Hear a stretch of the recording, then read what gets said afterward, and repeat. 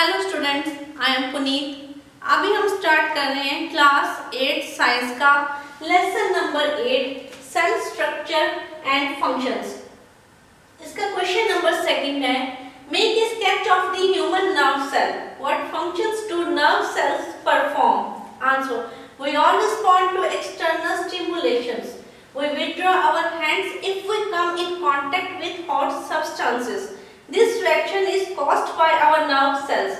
The nervous system is made up of billions of cells called nerve cells or neurons. Some nerve cells can be as long as 3 feet. Nerve cell is the basic functional unit of nervous system. The nerve cells control all types of body activities. The nerve cells may be described as receiver and transmitter of information from various body parts to brain and vice versa. This give and take of information allows the organism to respond appropriately.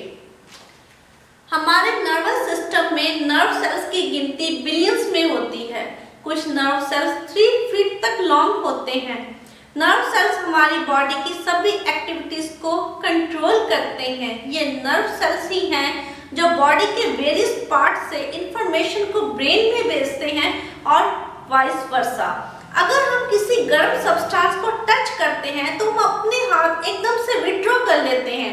अगर driving के समय red signal देखते हैं तो पैरों से car को रोक लेते हैं। ये सारे रिएक्शन नर्व सेल्स के कारण होते हैं। ये इसकी डायग्राम अभी आप इस क्वेश्चन को नोट कर लीजिए।